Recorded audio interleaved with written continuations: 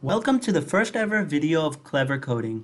Today I'm going to be teaching you the basics of C++ programming language.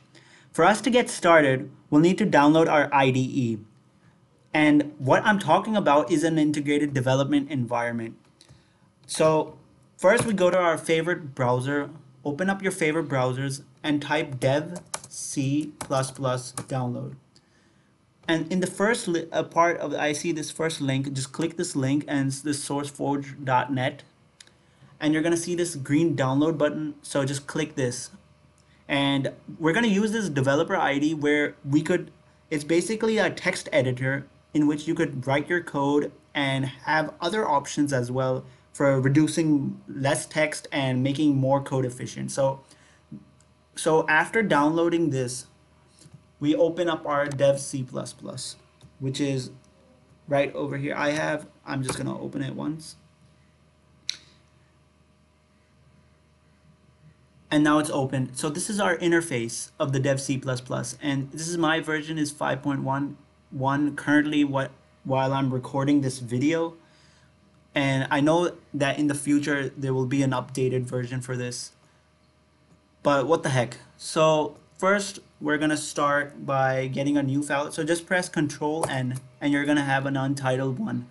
And you can notice your cursor's blinking over here and there's a one over here. And you could just press enter key and you can see two three four five six. So they basically these are text editors which give you predefined functions and they give you hints and also make them allow you to type less and make your code work even faster. So so getting started by C++, we're going to have to include our traditional header files.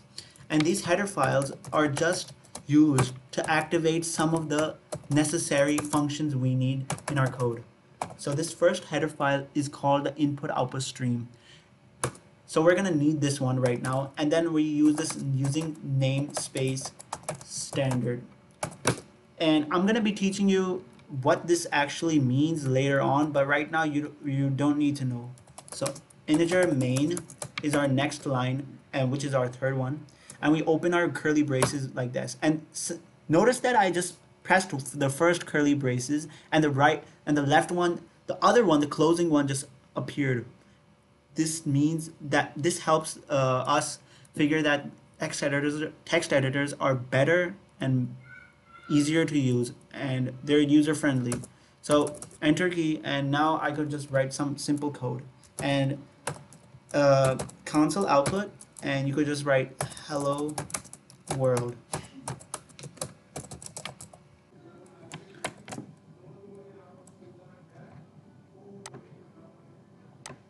So we start saving this by writing code 1 and notice that it's saved now you could see that's code one changed over here. So I'm gonna go in my execute button and click this run. And when I run, it's gonna compile first the whole code and then after that it's gonna execute. So now look at this. It's processing C++ source file and in any moment it's gonna look that black screen, that terminal screen popping up and saying hello world and then you can see this process exit, exit, exited after 0.278 seconds. And we blah blah blah. Enter key to continue. And that was our first program. And this was basic hello world program which you start in any kind of programming language. This is a tradition for whether you're starting from C++ or you're starting from Python JavaScript. You're always gonna have to have this kind of hello world where you just show like you try and implementing your basic concept and showing that you could display some kind of string or a sequence of characters on the screen. So this was our first video and in the next video we'll be getting a little more deeper into the major concepts of coding where we're going to learn data types and structures. So tune in and hope you make sure you subscribe to the channel to get Uh, notifications of upcoming videos and hope we see you in the next video. Bye.